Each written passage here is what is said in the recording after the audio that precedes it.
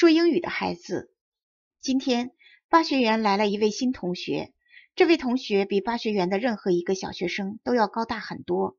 小豆豆觉得说他是小学生，倒不如说他更像中学生大哥哥。新同学穿的衣服也和大家不一样，很像个成年人。早晨，校长先生在校园里向大家介绍这位新同学。这是宫崎骏，他是在美国出生，在美国长大的，所以日语不怎么好。他觉得到巴学园来比去别的学校更容易交到朋友，也能安心的学习。今天宫崎骏来到这里以后，大家就在一起了。嗯，做几年级的学生好呢？和阿龙他们一起就做五年级学生吧。擅长绘画的五年级学生阿龙像平常一样，用大哥哥式的口吻说：“好的。”校长先生微微笑一笑，说：“虽然宫崎骏的日语不太好，但是英语特别棒，可以请他教你们英语。不过宫崎骏还不适应日本的生活，你们要多帮助他。可以请宫崎骏说说美国的事，很有意思的。好了，就这样吧。”宫崎骏给比自己小好多的同班同学鞠了一个躬，不仅对阿龙他们，而且对别的孩子也鞠了躬，还招了招手。午休的时候，宫崎骏向校长先生家走去，大家跟在他身后。当宫崎骏准备进房间的时候，穿着鞋就要踩到榻榻米上，孩子们大吃一惊，吵吵嚷嚷的告诉他要脱鞋。宫崎骏好像也吃了一惊，赶紧脱下鞋，说：“对不起。”大家七嘴八舌的说，到榻榻米上的时候一定要脱鞋，但在电车教室和图书室不脱鞋也可以。到九品佛的庙里去的时候，在院子里可以不脱鞋，但如果要进庙的正殿，就要脱鞋了。这一下大家都明白了，即便同是日本人，如果一直在外国生活，就会变得很不一样，真是很有趣。第二天，宫崎骏来学校的时候，带来一大本英语的绘本。午休的时候，大家里三层外三层的围住了宫崎骏，一起看那本绘本。看到那本绘本，所有的孩子都大吃一惊。原因有好几个。第一个原因是，大家从来没有见过这么漂亮的绘本。孩子们通常看的绘本，一般着色都是大红色、绿色或者明黄色，总之都极为鲜艳。而这本绘本上，却有像肌肤那样娇嫩的淡粉红色、浅浅的蓝色、白色。灰色等淡雅的颜色，看上去让人心旷神怡。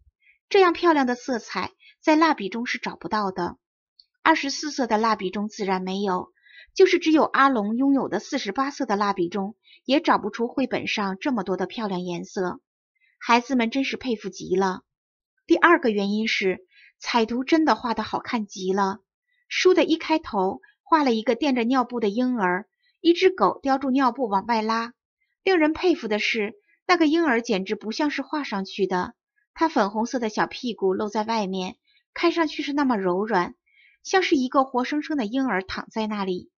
第三个原因是，孩子们都还是第一次见到这么大、这么厚，而且用这么光滑、这么高级的纸做的绘本。小豆豆当然也和平时一样，不会落在别人的后面。他离绘本最近，大饱了眼福。而且还亲昵地靠在宫崎骏的身边。宫崎骏用英语给大家念绘本上的话，声音流畅悦耳，大家都陶醉在美妙的英语声中。然后，宫崎骏开始艰难地说起日语来。无论从哪方面来说，宫崎骏都为巴学园带来了与众不同的东西。婴儿是 baby，大家都学着宫崎骏大声地念起来。婴儿是 baby。宫崎骏接着又说：“美丽的是 beautiful。”美丽的是 beautiful，大家跟着一念，宫崎骏立刻知道自己的日语说的不好，马上改正过来。对不起，不是美丽的，是美丽的。就这样，巴学园的孩子们和宫崎骏很快亲近了起来。